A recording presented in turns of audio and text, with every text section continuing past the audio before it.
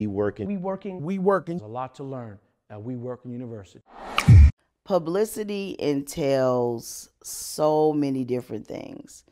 Uh, a great publicist really takes the time initially before an account is even open to see like is there talent there is there an incredible product there um, are you able to sell uh, what the potential client is going to bring to you uh, so at echoing sounds that's what we do uh, and also in addition to what's tangible I meet with that particular artist or that particular uh, person that's going to be the client, and I really have to catch a vibe and an energy uh, to know: Am I going to be able to talk to this person every day? Am I going to mind this person becoming a part of my text network?